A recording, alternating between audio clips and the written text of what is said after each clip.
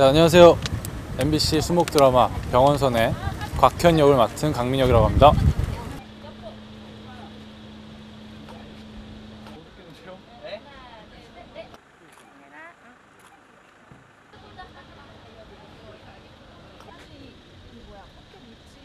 따뜻한 어, 의사입니다.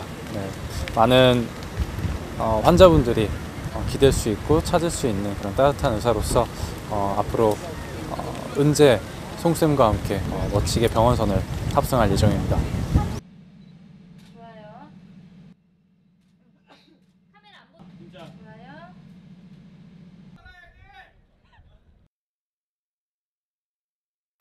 저는 아무래도 그 따뜻한 마음을 가장 어, 신경 쓰고 있는 것 같아요.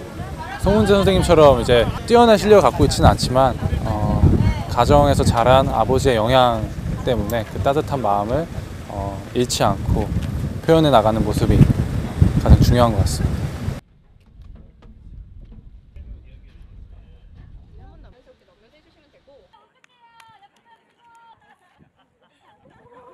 일단 너무 이뻤고요. 아, 제가 이렇게 섬에 온 건 제주도 말고는 없는데 자연과 함께 산, 바다 그리고 하늘까지 너무 잘 어울리는 어, 아름다운 섬인 것 같습니다.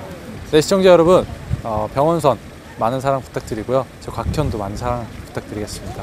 따뜻한 드라마니까요. 보고 많은 따뜻한 마음 느낄 수 있었으면 좋겠습니다. 감사합니다. MBC 수목 드라마 병원선 8월 30일 첫 방송 많이 사랑해주세요.